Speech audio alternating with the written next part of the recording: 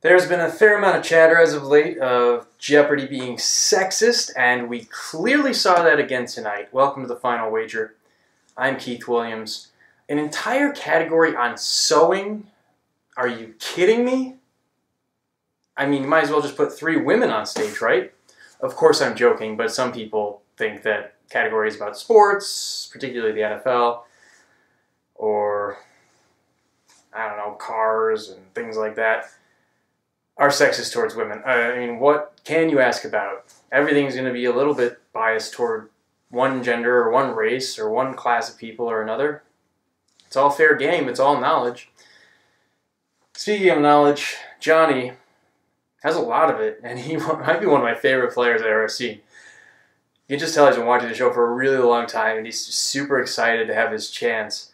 And he does play the game pretty slowly, but he's clearly having a lot of fun, and it's contagious to watch him from at home.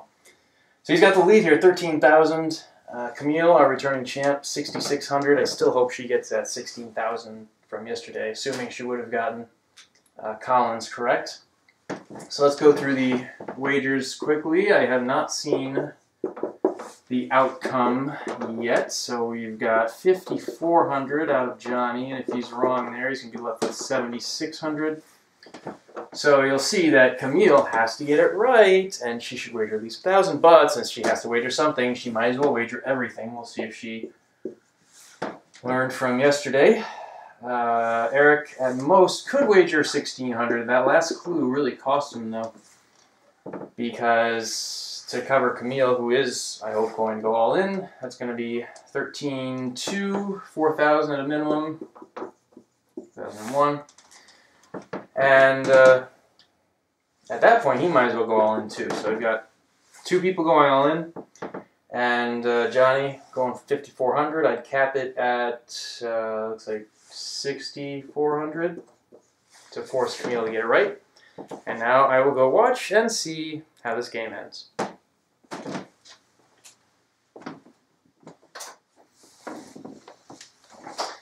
Well, I feel like I wasted a lot of time today because I had a long bus ride home from Vermont and I spent some of that time looking through old archive data to see whether there have been any circumstances in which the third place player could have won with a bigger wager when they had no reason not to wager everything.